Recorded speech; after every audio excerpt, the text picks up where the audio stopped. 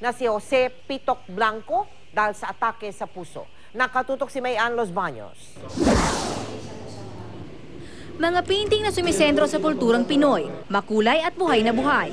Ito ang naiwang alaala ng kilalang pintor dito sa Angono Rizal na si Jose Pitok Blanco sa kaniyang paglisan.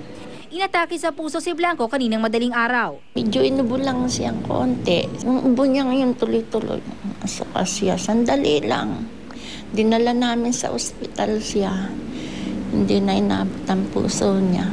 Kilala silang family of artists. Siya, ang kanyang misis at pito nilang anak, lahat nagpipinta. Kasi noong time na nagpe-paint na kami ng Dico, yung mga kapatid ko, sumama na rin. Kaya pagka nag-outdoor painting kami, buong pamilya pupunta sa bundok, magpe-painting, punta sa dagat, pe-painting. Sa Blanco Family Museum may kita ang mahigit apat na raang paintings ng pamilya.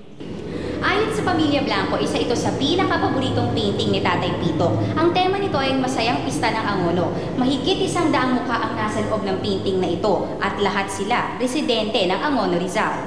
Sa loob at labas ng bansa nakapag-exhibit na ng paintings ng Pamilya Blanco. Isang eskwelahan din ang ipinatayo ni Tatay Pitok. Di ba man daw isang ganap na national artist si Tatay Pitok para sa kanyang pamilya at mga kababayan sa Angono, higit pa rito ang titulo niya dahil sa kanyang galing sa pagpinta at pakikipagkapwa-tao. For us, he is our national artist here. He's our hero here at Blanco Family Academy. Magaling na pinturuin. Kilala ko rito. Mayan Los Baños nakatutok, 24 oras.